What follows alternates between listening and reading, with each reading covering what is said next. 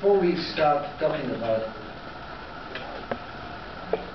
before we start talking about uh, management of GERD, I think that I want to I want to refer some myth. One is that's very common is that people, many physicians, even surgeons, equate uh, equate uh, uh, sliding hiatal hernia with GERD.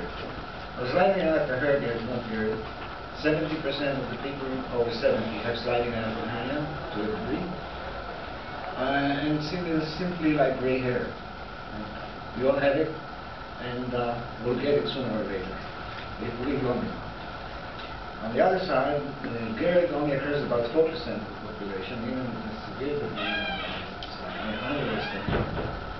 We also know that uh, from the history of surgery, the people attempted to reduce the hernia and do crural, repair as, as an operation for GERD, and it didn't work. It just failed. We also know from a very interesting study from Edinburgh that uh, uh, when they looked at patients that had Nissen fundoplication, uh, half a year later, half the time the crural repair failed. And what do you expect from an organ that uh, really, that really contracts 12 to 16 times a minute, every minute of your life. Uh, eventually it will deteriorate, and so does the infinite cruel. So it's not a relationship. The only thing that, that is true is that because of the neg negative pressure gradient, if a patient has GERD, N or LES insufficiency, and he has an hernia, he will have worse symptoms because the gradient is is uh, is negative and pulling it down. He may have worse symptoms, but if the lower esophageal high pressure zone, which is really the name of the last, the true anatomical name, there's no uh, is normal, you don't have GERD. Uh, and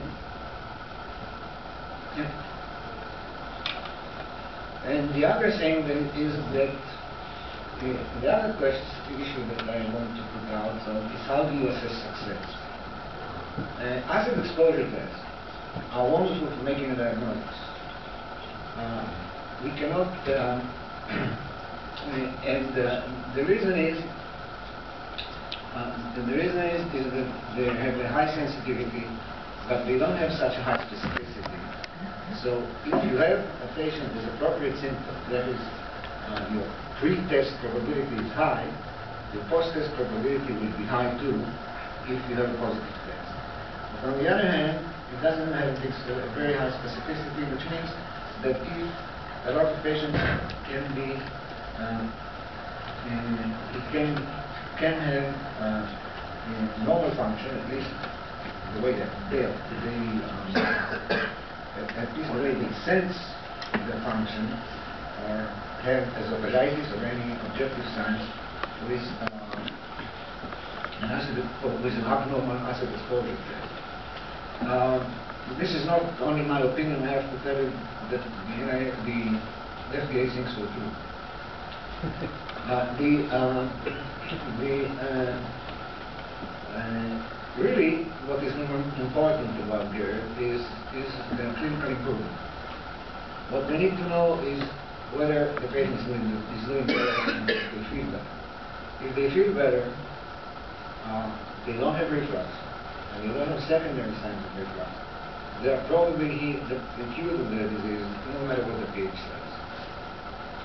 Uh, PPI utilization is plus minus because there is a large placebo effect and uh, it is an effective sign, an important sign, at least economically important, but it is less important than uh, than uh, than, uh, than subject, subjective feeling, not they suffer. And the instrument, the best instrument we have today for assessing that is the HRQL, which has been the most valuable. There are other instruments, and uh, I'm not going to say much about them. Um, well, we all know that. Uh, we, that we have four, as we heard in the first talk, there are four types of GERD treatments.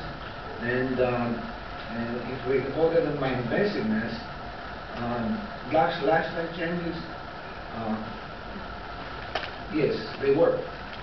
But you must remember that we are now an urban society, and people travel by train and they don't have time to have big lunch, and then have a nice siesta, and then have a little bit more work, and then go to sleep and after a very light supper.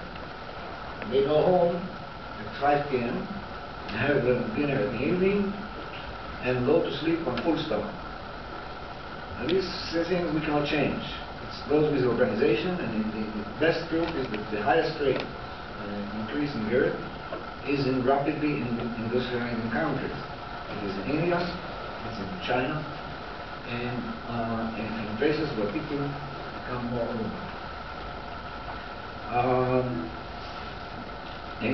lifelong PPIs are, of course, a treatment, but the truth is that at least 50% of the patients who have PPI are incomplete, are, do not fully respond.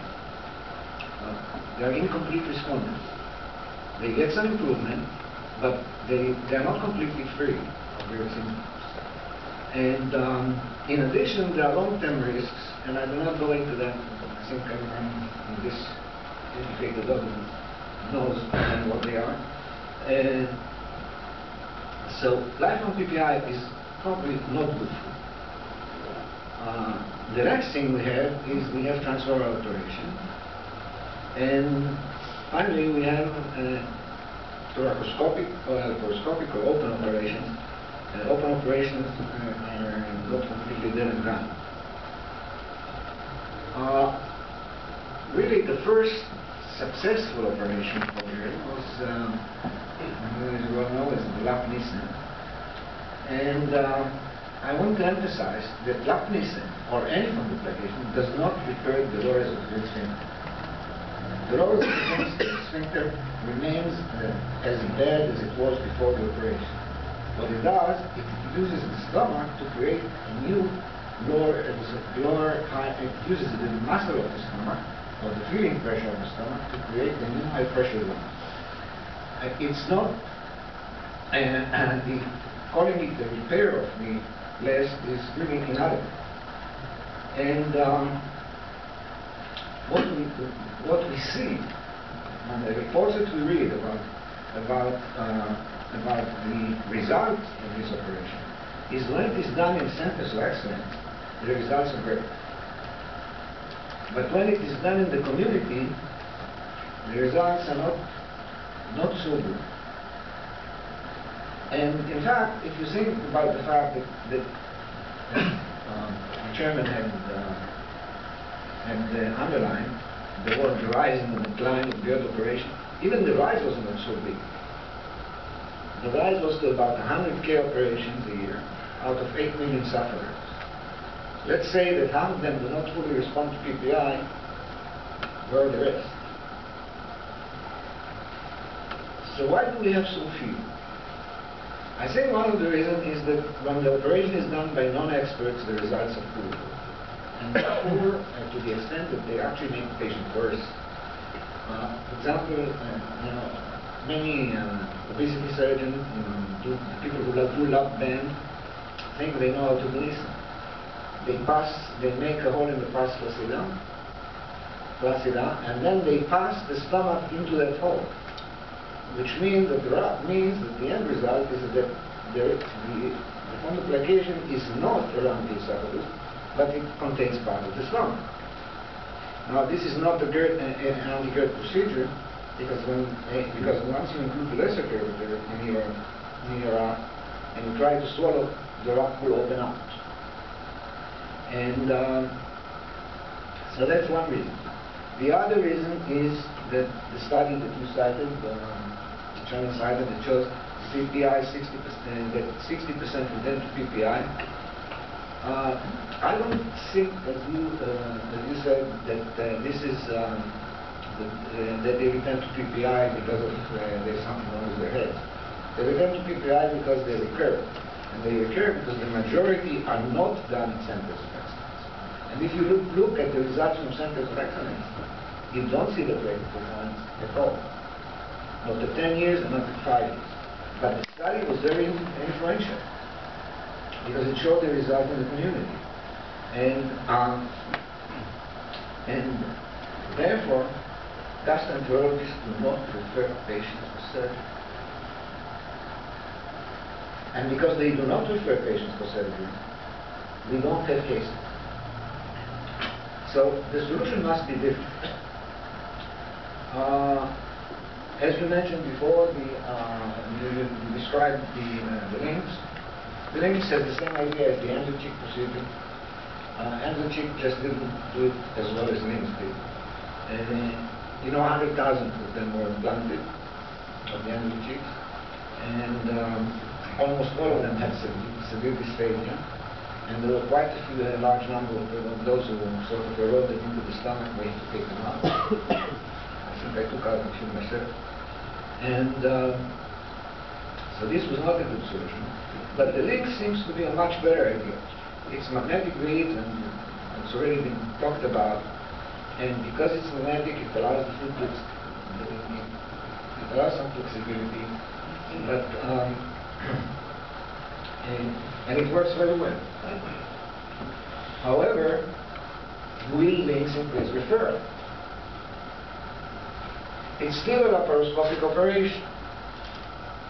And people don't like scars.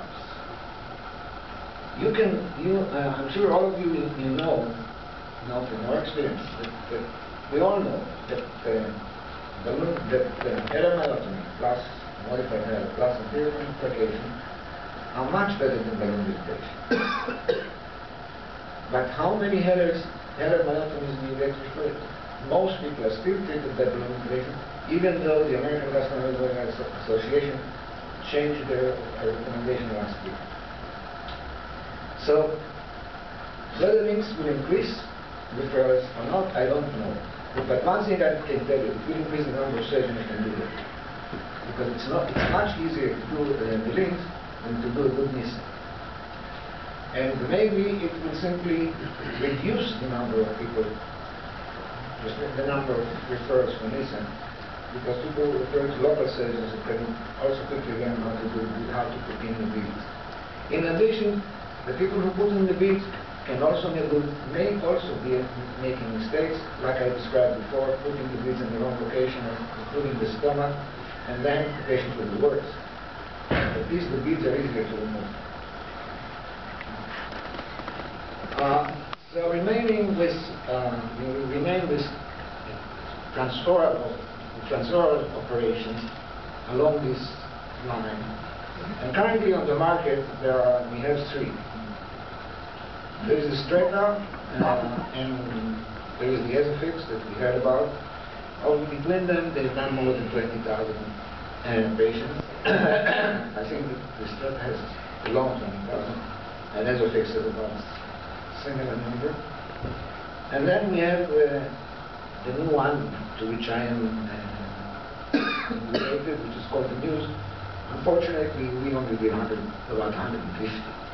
So, um, but I can tell you that all, all of them are CE mark, FDA cleared, and um, all of them have to, has to have to be done on selected patients, and uh, the safety and efficacy is approximately the same as, lap, as laparoscopic fundoplication in terms of quality of life and PPI use. Uh, on all of them, uh, depending on many manipulations. Stretta is very interesting because this is the, uh, the only, it's actually the only procedure which affects the lower sphincter receptor.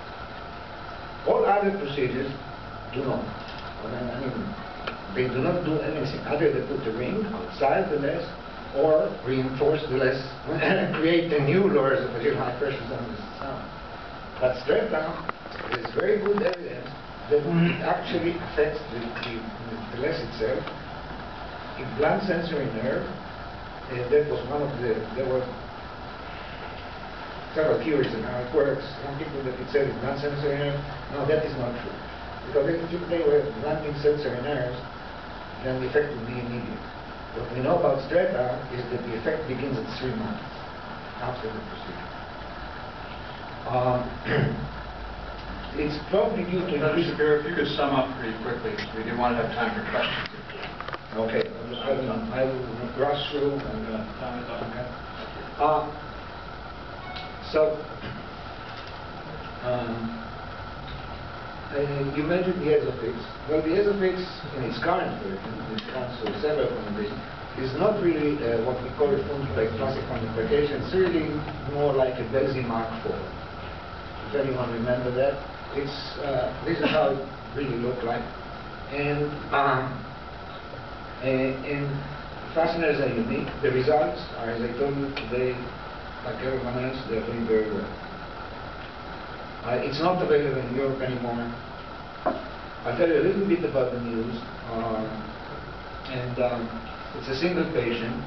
What you see on the left is, is, is completely disposable, the sort away.